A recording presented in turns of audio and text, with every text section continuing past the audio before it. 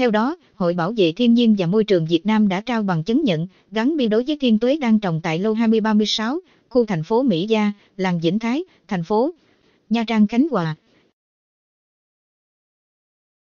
Cây thiên tuế này có tuổi thọ hơn 200 năm và đặc biệt có 3 nhánh, cao khoảng 7, 3 mét, đường kính vút hơn 1 mét, được người dân cất công đào từ một ngọn núi ở làng Phước Đồng Nha Trang, về trồng và chăm sóc.